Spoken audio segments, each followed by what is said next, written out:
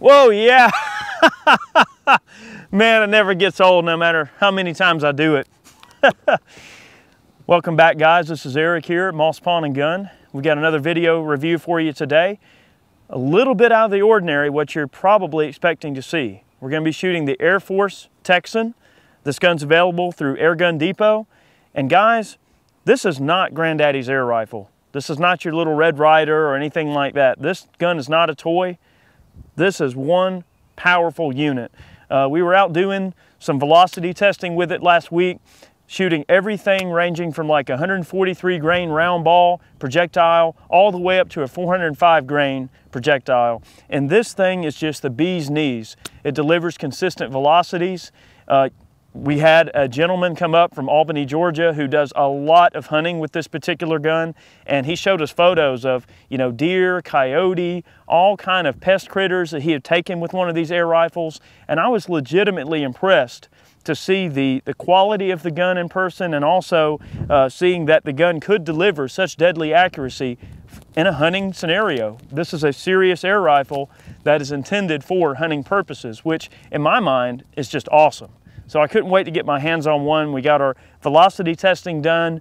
Uh, we did some basic ballistics gel testing, which we're gonna replicate for you again today.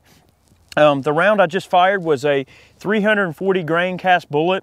Uh, I cast these up the other night out of my Lee mold. They drop right out of 458 diameter, which is perfect for this purpose. In case you guys haven't figured it out yet, this is a 45 caliber air rifle. The tank here holds 3,000 PSI. Now the draw on these things is a little bit on the heavy side. So let's say that you're using like a 405 grain, 350, uh, 340 grain uh, projectile in a 458 diameter uh, cast pill. You're gonna lose a good bit of air per shot, but your first one to four shots are gonna have a good bit of power and you'll have to top off later. Now, if you're running the little 143 uh, grain round balls, we found that even over a course of, you know, between uh, 15 to 20 shots, uh, the gun was still delivering good accuracy, respectable velocities, and I can see the 143 grain round ball being a good option for those that want to just practice with the gun and plink, or if you want to shoot small animals, little critters, whatever you need to do. So guys, I've been really, really impressed with the Texan. This is a wonderful air rifle, and air gun reviews are something that's kind of new to us. Uh, we really haven't done a lot of work with airsoft, air rifles, paintball, you know, because a lot of folks go, oh, well, that's not gun related, so I'm not going to watch it. But I, I strongly disagree. I think that this gun kind of blurs the boundaries between what is an air gun and what is a real gun. I mean, remember, from a legality standpoint, guys, this is not considered a firearm which means that air rifles generally are in use all around the world. Historically, um, air guns have been in use since very, very early on from a historical standpoint. And I tell you, uh, the Lewis and Clark expeditions, they had air rifles and they used them. And it's just amazing to, you know, read old accounts of Indians going, wow, well, these guys had this, you know, crazy air gun that didn't make noise, but yet people still died when they got shot with it. And, you know, the velocities were not exactly what we would consider to be indicative of uh, lethal power by today's standards, but certainly with good shot placement, uh, early air guns did do the trick. Now, um, just to give you an idea of uh, velocities, uh, foot-pounds of energy, uh, we were getting just about 500 foot-pounds of energy out of a 405 grain projectile. So guys, we're talking, uh, if you compared bullet weight to bullet weight, probably about the performance of 45 Colt, okay? You know, your 45 Colt projectiles running anywhere from around 245 grains, which we do have some of those to try out, uh, all the way up to, I think on the top end, like three and a quarter, maybe 340. Uh, you might be able to get a little bit heavier in a 45 Colt. But if I had to compare it to something, it would be that. So guys, you've got an air rifle that can kill a deer. I don't know any other cool way to put it than that. Uh, the barrels, Lothar Walther barrel. So guys, they're using good barrels in these things.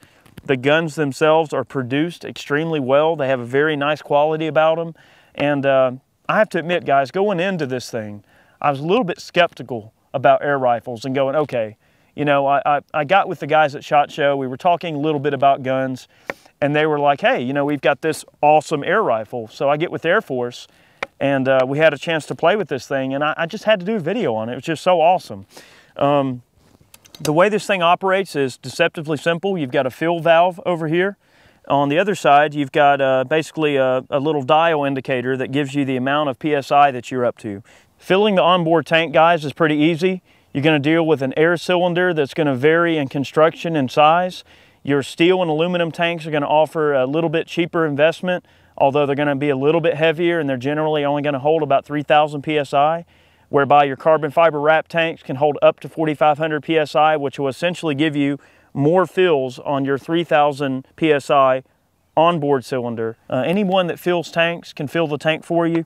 You hook the thing up, kiss her up until it gets to 3,000 PSI, and you're good. Now on the heavier pills, like I mentioned, four or five shots, you're gonna be kind of on the top end of what that gun is gonna do performance-wise uh, with those five heavy pills. But remember, in a hunting situation, which is what this gun is primarily uh, marketed for, you're really not going to um, be firing more than a few times anyway.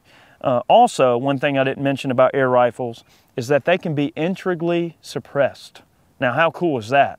Uh, Rick, uh, our fellow from Albany, came up and brought one of his 25 caliber uh, ones that he's done a ton of predator hunting with, and it is quiet as a mouse and still has plenty of power to do the job.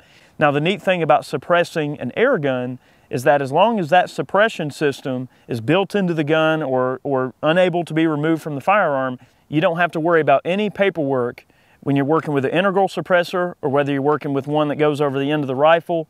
No paperwork, guys. So none of the NFA stuff to worry about. Uh, loading the gun is deceptively simple. Push this lever forward. Air bleeds through these ports in the breech and propels the projectile through the barrel. It is a Lothar Walther barrel, and yes, it is rifled. So it is, by definition, a rifled air gun. It is a air rifle all day long. Check your projectile, seat it in place firmly. Okay, and what that does is that pushes the projectile up against the lead, close the breech smartly. It will kind of cam over and hold itself shut. Acquire your target. Safety's off. The gun's ready to fire. Now the triggers on these things are ridiculously good. You know, very, very indicative of what I consider to be, uh, I'd say the trigger breaks at around two and a half pounds. It's very lightweight. Um, it, it's, it's one of those things you have to experience. You just have to try it. We're gonna go ahead and shoot it. So safety off. All right, got a little bit of a crosswind here. There it is. Well guys, that was 125 yards with a 340 grain pill. And guys, that's deadly. Okay, you heard the amount of energy that connected with that plate from this air rifle. Guys, this is an air rifle, okay? It's not a firearm technically. Uh, I think we're gonna have a ton of fun with this thing today. Let's go ahead and get a bunch of random stuff to shoot and uh, go ahead and get after it. Uh, so far, I'm, if, unless you can you know, tell already, I'm pretty excited about it. Let's get after it. All right, guys, we're gonna make another fireball for you before we get too far into the video here. It's just too much fun and it never gets old. You know, I don't know what it is, but it just seems like when I get behind an air rifle, it makes me want to do things that uh, I knew I would get punished for growing up as a kid. Is that normal? We're just gonna say it's normal. All right, here we go. Let's make us a fireball with this thing. Oh yeah. Man, it never gets old. Sweet. All right, guys, twice the cans, twice the fun. I've got two spray paint cans. Let's see if we can make double the fire or set the world on fire, however you look at it. Whoa, yeah. yeah, we're gonna have a fire to put out. That was awesome. Man, all right. We're gonna put this fire out and let's get to some stuff that's maybe a little bit safer. All right, guys, in our initial testing, we did some ballistic gel work with various projectiles, and we found that without any kind of cavity in the projectile, we were getting pretty much just straight line penetration. Now that's what's to be expected from a just pure cast lead projectile with no voids, no inclusions, and no type of hollow point cavity in the nose. So we took it upon ourselves just to see what the uh, you know, penetrating characteristics and the expanding characteristics of the projectiles would be if we put them on the lathe and drilled them out and made our own hollow points. So that's what we did. I've got a 245 here that I've milled out the nose and we've gotten it down to about 180 grains. Right here, we're using a Clear Ballistics 10% FBI block, 16 inches long. Let's give her a try. And here we go.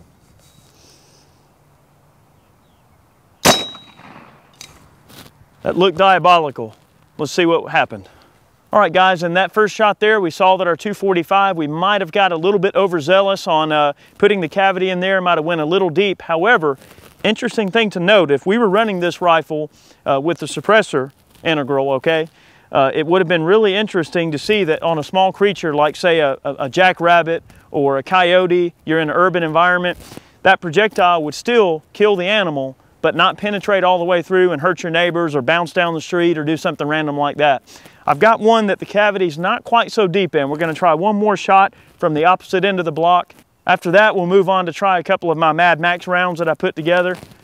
So far, so good. This rifle has just been so much fun to shoot. And the interesting thing is the performance of it and the power factor, you don't even really feel like you're shooting an air gun. It's like you're shooting a real rifle. Here we go.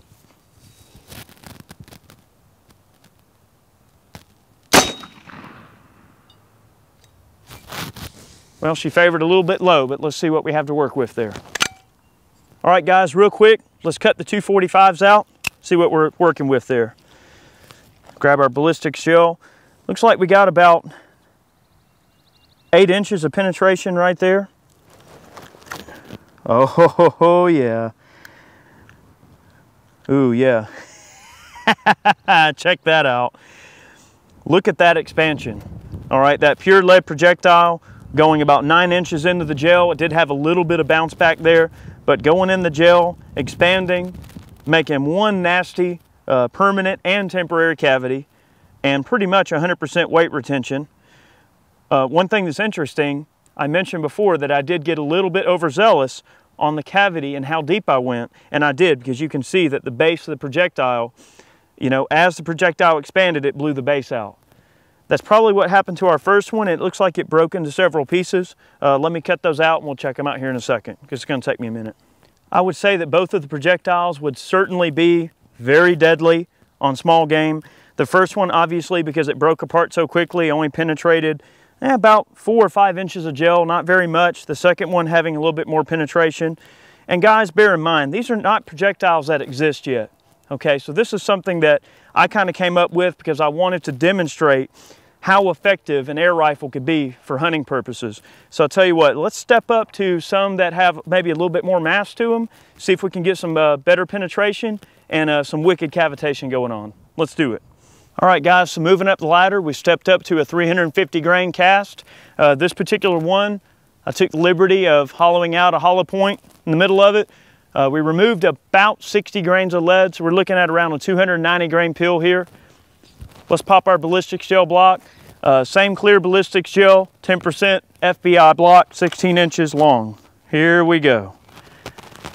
I love doing this kind of stuff, and again, it, it's hard to explain in the video, but when you shoot this gun, it feels like a real rifle. Like you kind of get that feeling that you're not shooting a toy, and it's certainly not a toy. Here we go. Let's try her out. Uh, 3,000 pound fill on the tank. So this is a virgin shot uh, from a fresh tank. That sounded scary. Let's go have a look. All right, guys, I have to say that I'm very impressed with my little Mad Max projectile. That was a 290 grain. Uh, previously, it was a 350 grain. We just hollowed out a simple cavity on the lathe. Not much to it, but the performance is very impressive. We had a very nasty uh, temporary cavity within about the first eight or nine inches of the gel. Good permanent cavitation, and then it started to dip low, and it ended up penetrating a total of about 14 and a half inches of ballistic gelatin. All right, and it conveniently ended up right here on the bottom where I can just grab it out of here. Now look at that. That is one wicked little pill right there. We're gonna show close-ups of these, but man, uh, that is just outstanding. That pure lead just really mushrooming out. Looks like we have 100% weight retention. We might have gotten a couple of bits of shards of lead that might have deposited uh, themselves in there, but very, very minimal. I would say probably 95% or more weight, weight retention with that. All right, guys, well, that 350 was so impressive. We're gonna go ahead and step up with the ballistics gel testing to a 405. Um, I don't know what the penetration is gonna be like, so I went ahead and doubled up on the blocks. Uh, again, clear ballistics, 10% FBI blocks, both of them 16 inches long. Let's do it. And again, this is a 405 that I've um, actually carved a cavity out in the nose. We removed about 65 grains of lead out of this thing. So let's see what happens.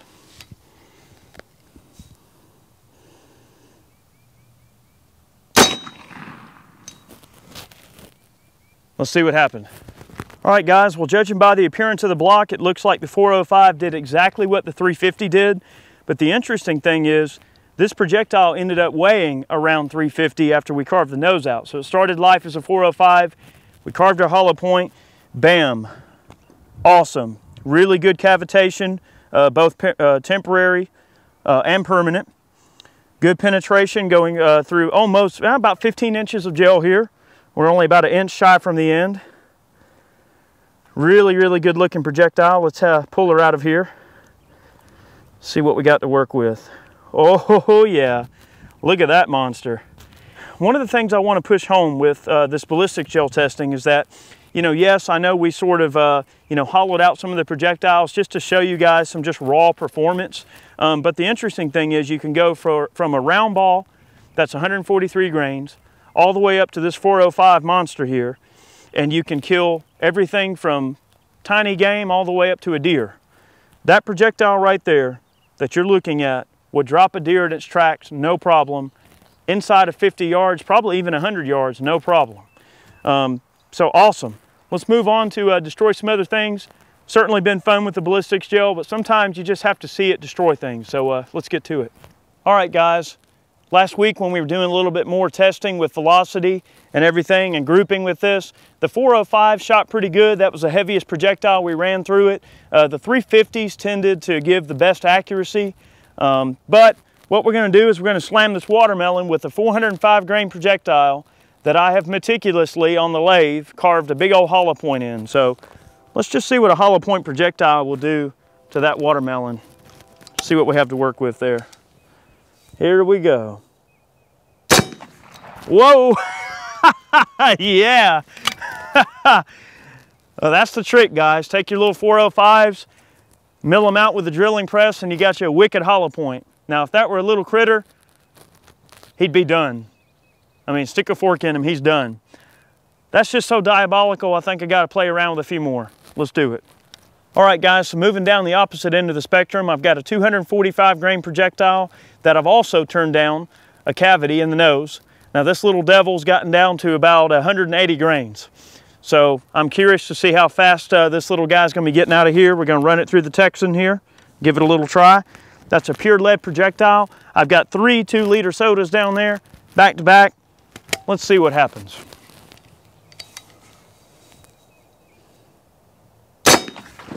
Whoa, yeah.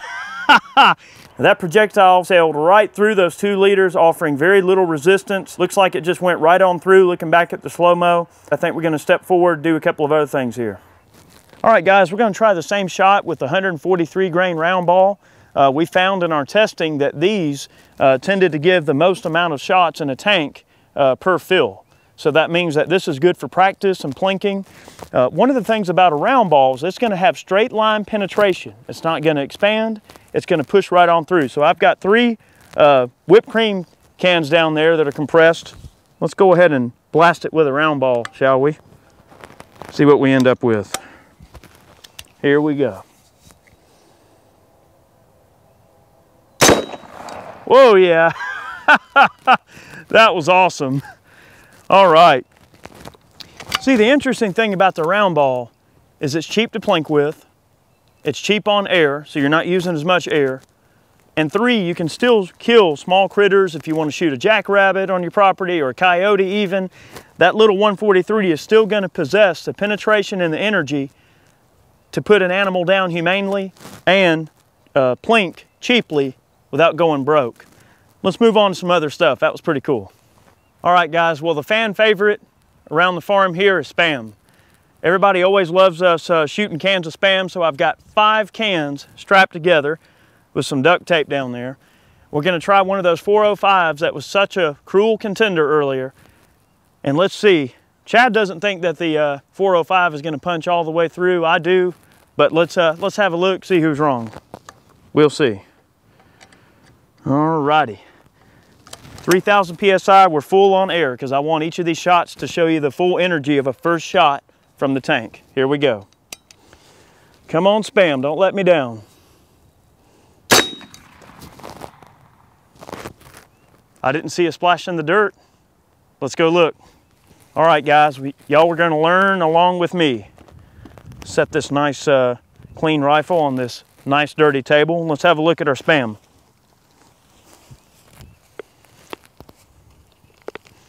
Oh, look at that.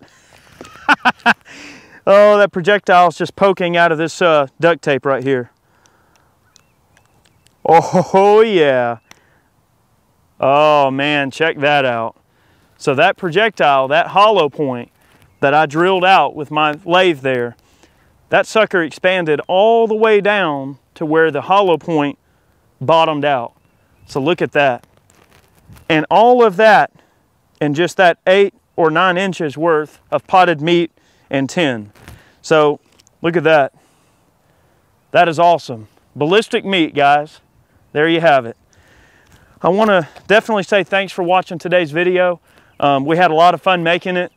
Air rifles are something that I, at this point, am genuinely interested in moving forward. Um, I'm hoping that, you know, there's a chance that maybe Airgun Depot will allow me to take a look at some of their other guns. Um, they've got a lot of great stuff going on. AirForce, obviously, they know what they're doing behind this gun with making the Texan.